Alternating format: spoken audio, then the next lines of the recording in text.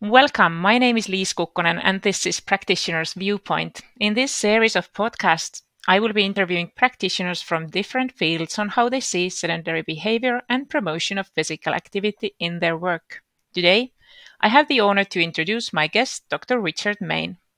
Richard completed his medical de- degree from Queen's University Belfast School of Medicine. He went on to complete a master's degree in sport and exercise medicine at Ulster University while undertaking training as a general practitioner. He is now practicing as a general practitioner in Northern Ireland in the UK. He is passionate about the research of sedentary behavior and physical activity to share information and help people live longer, happier, and healthier lives. He is also running a website called themovingmedic.net. So, in this episode today, we are going to talk about how to consult patients on physical activity and what does the research tell us about sedentary behavior among general practitioners. I am happy to introduce Dr. Richard Mayne. Welcome, Richard. Thank you, Liis. Yes, great to be participating in this podcast. So, I'm going to start with the first question. Um, what is your background? How or why did you get interested in medicine? And why did you choose physical activity to be in the focus of your research? Well, I always enjoyed doing science subjects in school, which is common with many doctors. Um, interestingly, my mum uh, was a dentist, uh, so she tried to talk me into doing dentistry as a profession. However, I thought that if I agreed to do dentistry from whenever I left school, that I would be confined to looking in people's mouths all day for the rest of my life. I would prefer to have. Uh, I, I, thought I would prefer to have something that was actually more uh, all encompassing than that. Uh, so I chose to study medicine because there are lots of different options within that. And I like to try and um, not be honed in on such a specific uh, field. Uh, so instead, by studying medicine and then going on to work in general practice, uh, I'm very fortunate to be able to deal with people of all age groups and backgrounds and lots of different medical conditions and not limited to just one specific body part or body area.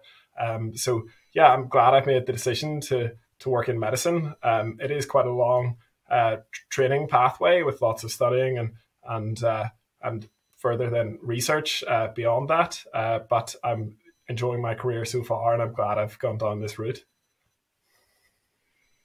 Oh, it's it's great to hear. I'm sure you have a lot of experience also regarding to the topics that we are going to talk about today.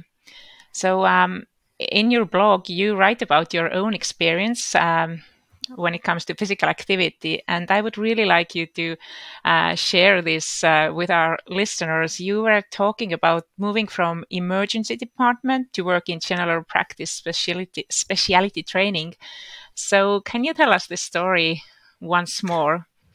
Yes, uh, well, as uh, working in uh, training to be a general practitioner in the UK, um, you once you graduate from medical school, you have to work for a couple of years as a foundation doctor when you rotate through different medical specialties to gain more experience and more expertise before you then choose to decide on what specific career path you want to go down.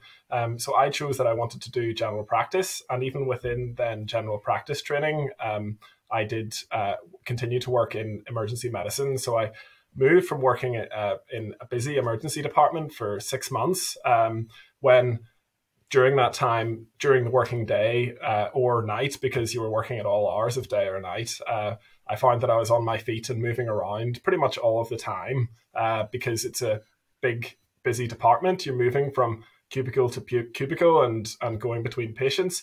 And so yeah i found that i was physically active pretty much all the time during the working day and i actually really looked forward to getting the chance to sit down but then I moved to working in general practice, and instead I found that I was commuting in the car, uh, sitting down the whole time, quite a long distance. And then I was also revising for exams at that time. So I was sitting during my lunch break to try and fit in some more studying. And then I was sitting down almost constantly throughout the working day. Um, it began with uh, initially I had longer consultations with patients, so I had time to go and get them from the consulting room and bring them into into the or bring them from the waiting room into the consulting room, um, which allowed me to get up and move around between patients. But then actually, one of the colleagues that I was working with was saying, "Your uh, call screen for the waiting room must be broken." Uh, we need to fix that so that they can we can be more efficient and get more patients in more quickly. So, uh, because the, the technology hadn't been working, I had had to get up and move to get patients into the room, but they fixed it for me. And then I found that with the appointments starting to become shorter and less time between patients, I really needed to uh, try and read the notes, maybe finish making notes from the patient before and start reading the notes of the patient coming in next.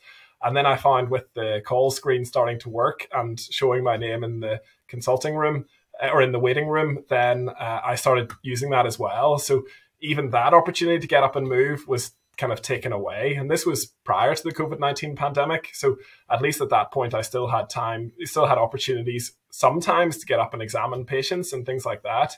Um, but it was just worlds apart from working in emergency medicine and working in jobs in, in hospitals as a, as a junior doctor. Um, I found it was a big change. Um, and then I, I started putting on weight and feeling lethargic and getting aches and pains. And it just got me thinking, all this time that I'm spending sitting down, is is this affecting my health? Because I really, it, it, I'm not feeling good uh, as mm. a result of all of this.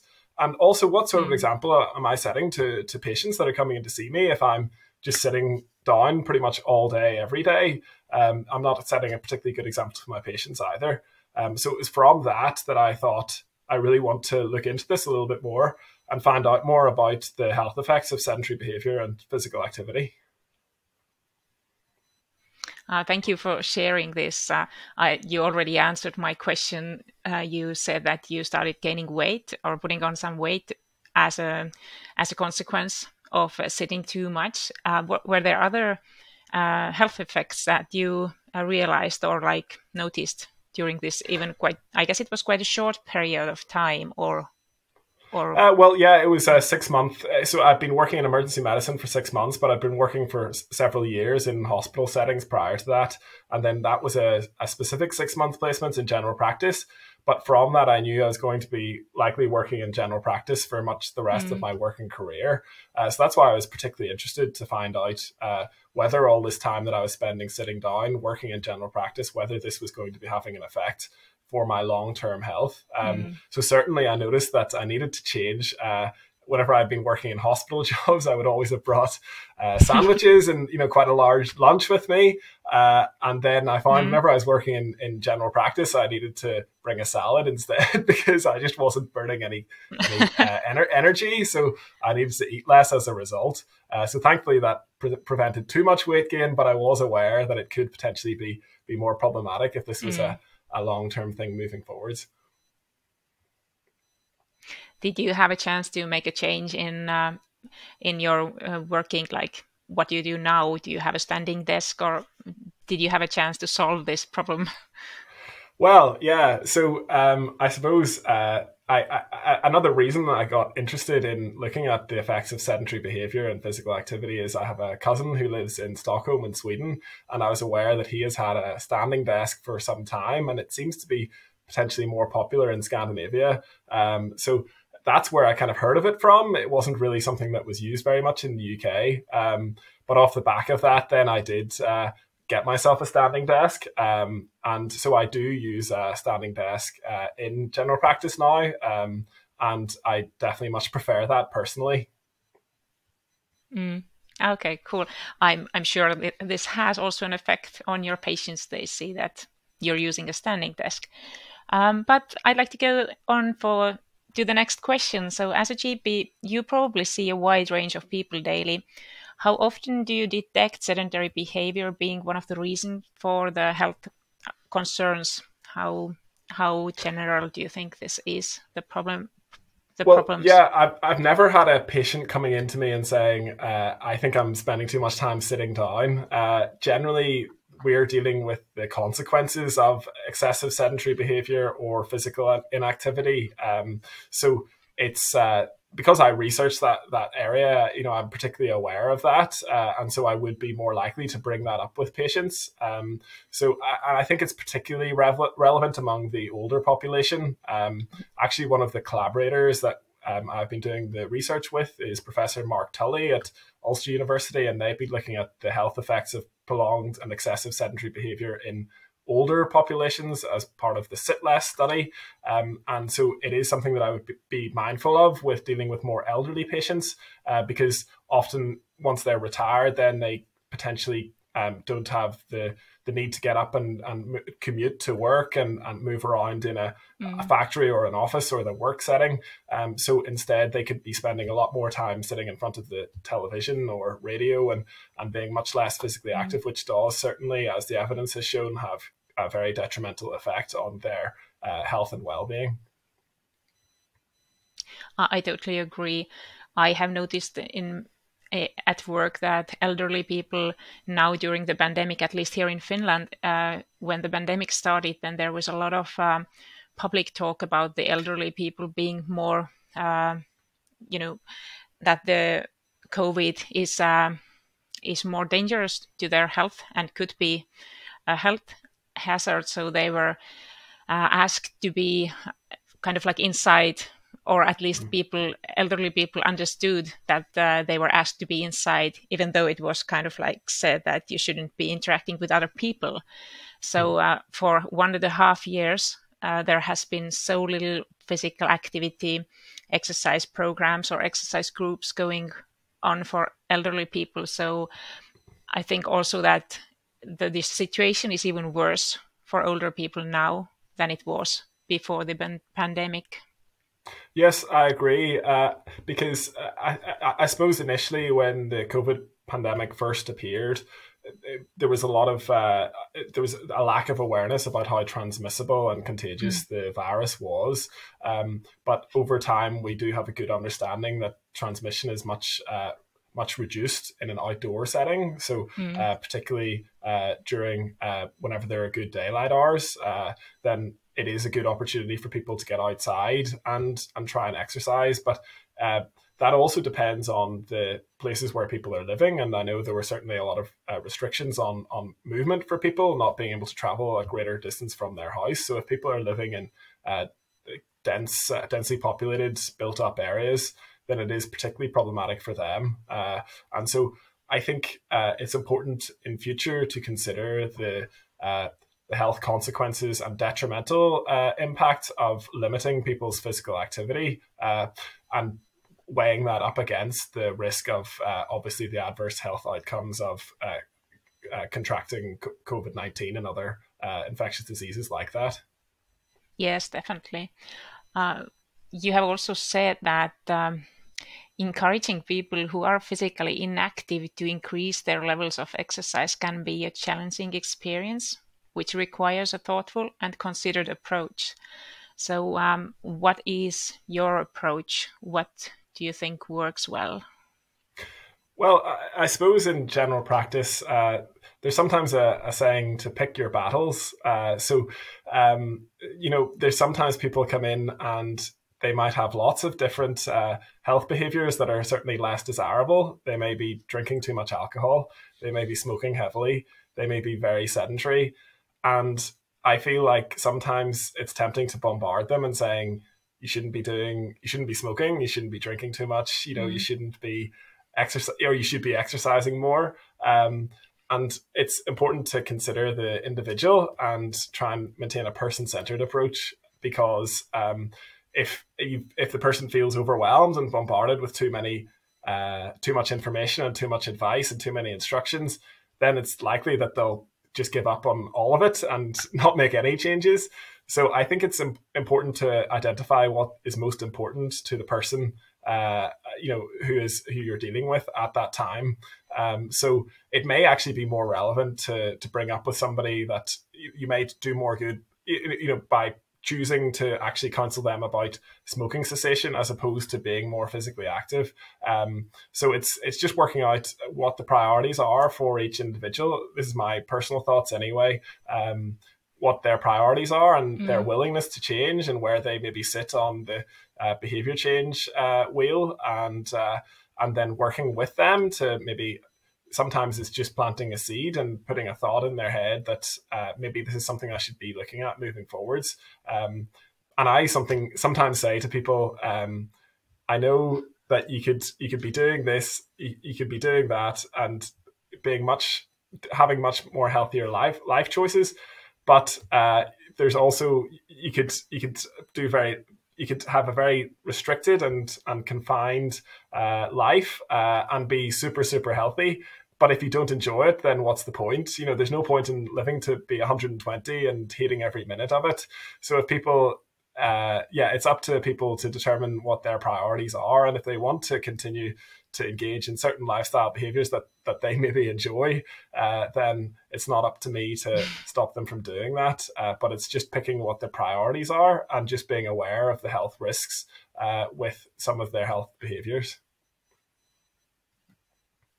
Definitely. Uh, so, what is maybe you already answered that, but I'm still going to ask what do you think are the most common mistakes that healthcare providers do when consult- consulting about physical activity and sedentary behavior? Uh, you mentioned about maybe giving too much information, or uh, do you do you have you noticed what's uh, what's maybe not done so well? Uh, I, I, I don't know if there's a perfect uh, a perfect approach, uh, mm. and different things will work for different people. Uh, you know, different things will work for different clinicians, and different things will work for different patients as well. Uh, so I think the key is to maintain a person centered approach, so that you understand what the priorities are for the the person you're consulting with.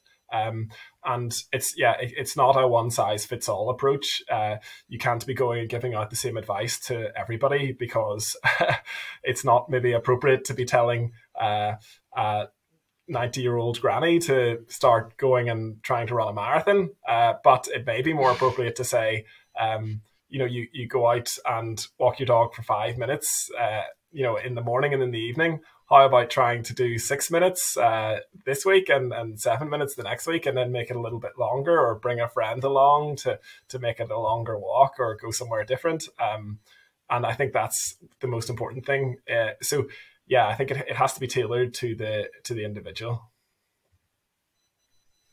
So is there like as a GP you have so there's so much to look at when a person comes in. Do you think there is time or enough time to um, to talk about these topics with with your patients? Yeah, I mean, I I enjoy uh, having these conversations with patients, um, but uh, I know it's it's it's time is is a huge pressure in general practice in the UK.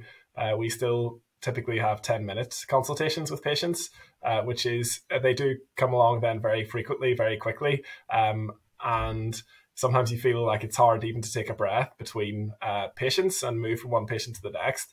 Um, there are some opportunities now uh, moving forwards. Um, both that things have been going on from before the COVID pandemic, but also in light of changes that have been made as a result of the COVID 19 pandemic. Um, something that's been going on certainly in Northern Ireland and other parts of the UK uh, and other parts of the world as well is trying to bring in other uh, allied health professionals and other health professionals into the the general practice setting. So it used to be that in general practice uh, there was the GP, the doctor, um, and a receptionist and a nurse, whereas now there are lots mm-hmm. of other uh, professionals working in the general practice setting. So we've got physiotherapists, mental health workers, um, social workers, um, and uh, advanced nurse practitioners. There's lots of more people working in the general practice environment. So potentially that does uh, free up more time to actually bring in uh, speaking to people about uh, their lifestyle choices and their their behaviors. Um, as well as then the switch to uh, remote consulting. There's a lot more remote consulting now with consultations happening over telephone and video. That's a direct consequence of the COVID 19 pandemic, which is likely to be a long lasting mm. change. Um, and uh, personally, I mm. find that is is beneficial in terms of having these longer consultations uh, or you know bringing in uh, sometimes some consultations ends up being longer if you're trying to bring in the lifestyle counseling element into it Mm. Because you're aware that you don't have a waiting room full of patients uh, that are all waiting longer for every minute that you're running over with each patient. So in mm. the past, uh, it, it it was often in the back of your mind that you really need to not have your your uh, clinic running too much uh, over time because it's really not fair to people to be waiting in a waiting room for over an hour because you've taken an, another couple of minutes mm. with every patient throughout the, the, the session. Um, so instead, if things are happening over the telephone, some things are very quick to resolve. Uh, and then other things you can take a little bit more time over. Uh, so it's just, uh, yeah, mm-hmm. it, it is a potentially a good opportunity now to, to actually, uh, if people are, are, are discussing uh, ill health that's a consequence of lifestyle choices and maybe a lack of physical activity or excessive sedentary behavior. Um, now it is a good opportunity to try and bring that up with patients uh, because also it will reduce their uh, potentially reduce their uh, future consultation rate if you can potentially mm. stop them becoming diabetic or uh, you know, developing hypertension and other things that can be prevented by adopting a healthier lifestyle. Although you have to invest that time, more time up front, it can potentially lead to time savings in future with them having less consultations in future. Yeah, that's great to hear that things are developing and um, getting better. Uh, on I think I read from your blog that um, you find there to be few experiences more rewarding than helping people become more physically active. And I totally agree with you on that. Uh, would you like to share like, examples, an example or many examples with us about uh, where you have seen a change in someone's health uh, after yeah. they have changed their their habits? Yeah, it can be very hard to predict uh, when your words will have an impact because mm. there are lots of people that I feel like I'm trying to say, you know, to increase their physical activity and and and be less sedentary. And a lot of the time, you feel like it's falling on deaf ears because they come in in future consultations months down the line and they say, you know, it's they they haven't changed but every so often it does just seem to hit home with people. Uh, so I do remember fondly a time whenever I was working in a, a town called Ballymena, which is in Northern Ireland, as a trainee. Um, and I said to a gentleman who was uh, developing, he was uh, becoming type 2 di- diabetic, or he certainly, uh, his blood tests were looking that he was going to potentially becoming type 2 diabetic. So um, I just mentioned to him about, uh, I, I talked through with him and asked if he was doing much physical activity and things, and he really wasn't doing very much. Um, and I explained, like I try to do with, with lots of different people, about the benefits of, of physical activity and the potential to improve his health. Um, and I do remember that gentleman in particular coming in several months down the line with his blood test much improved and actually looking like he was kind of reversing the the trend towards becoming diabetic. Um, and he just looked up himself and found that there was a local exercise class taking place in a church hall near where he lived, as well as a walking group that he signed up to. And just from making those changes and actually taking part in that, uh, he was certainly, you could see the objective findings in terms of the improved blood test results, in terms of his cholesterol and lipid profile and his, uh, his risk towards diabetes, but also I could see it in himself that he certainly looked happier and healthier uh, as a result of changing his behaviors. Mm. Um, and so that's hopefully something that he was then sustaining into the into the future. Mm. Um, I think as practitioners, sometimes you have the feeling that when somebody comes in from the door, uh, and I at least sometimes um, tend to think that I know who are going to follow my uh, my guidelines or suggestions but it's quite often i see that i'm wrong. There's like you know the more you work the more you see that uh, you just don't know how people will behave. And it's, it's right. quite often very surprising. And that's why it's good not to judge a book by its cover and uh, and, and actually yeah, yeah consider uh, how you're going to be yeah discussing it with each individual person Yes, yes. Uh, it's a great story, and I think it's also a great way to end up uh, the first part of our episode. So, thank you everybody for listening. Thank you, Richard, for sharing your thoughts with us, and stay tuned. We'll be back soon with the second part.